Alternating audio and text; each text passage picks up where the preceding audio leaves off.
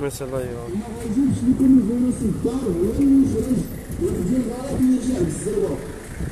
الاخوان والاخوات حاولوا ما امكن بال صحتكم وصحه ولادكم وعائلاتكم لهم البال مزيان حاولوا تمنعوهم ما يخرجوش من الديور حاولوا تمنعوهم ما يخرجوش من الديور ما تخليوش ولادكم والناس الكبار في السن يخرجوا من الدار لأنهم أكثر عرضه للاصابه بهذا الفيروس. الاخوان والاخوات إذا كنتوا كتبغيو العائلات ديالكم وولادكم وتتبغيو حبابكم باش ما يتصابوش بهذا المرض حاولوا تمنعوهم أنهم يخرجوا من الدار.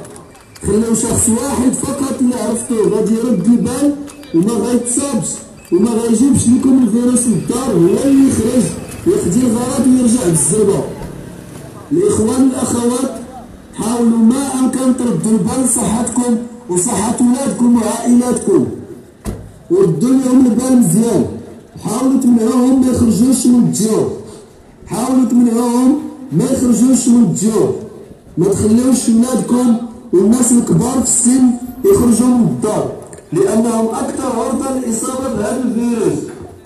الإخوان والأخوات الحمد لله باقي الوضع في بلادنا مقدور عليه. ويمكن لنا نسيطروا على تفشي هذا الوباء ولكن خاصنا نتعاونوا بيناتنا ونبقاو صابرين في ديورنا باش نتجاوزوا هذه الأزمة. ما بغيناش نتيحوا في الخطر اللي طاحوا فيه بزاف ديال الدول فاش بداو تيضحكوا وتيستهلوا بهذا المرض وفي الأخير عاد بداو تيبكيو. ما بغيناش نوصلوا لمرحلة يوصلوا لها والضحايا ديالهم اليوم وصلوا 100 ولا 200 ضحية كل نهار. حاولوا ما أمكن تعاملوا مع الوضع بجديه الاستهتار ولا مبالاه غادي توصلنا لعواقب وخيمة.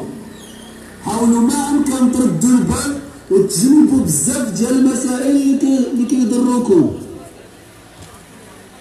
الإخوان والأخوات الحمد لله باقي الوضع في بلادنا مقدور عليه. ويمكن لنا نسيطروا على تفشي هذا الوباء ولكن خاصنا نتعاونوا بيناتنا ونبقاو صابرين في ديورنا باش نتجاوزوا هذه الازمه ما بغيناش نتيحوا في الخطر اللي طاحوا فيه. بزاف ديال الدول فاش بداو تيضحكوا وتيستهلوا بهذا المرض وفي الأخير عاد بداو تيبكيو. ما بغيناش نوصلوا لمرحلة اللي وصلوا ليها والضحايا ديالهم اليوم وصلوا 100 ولا 200 ضحية كل نهار. حاولوا ما أمكن تعاملوا مع الوضع بجدية.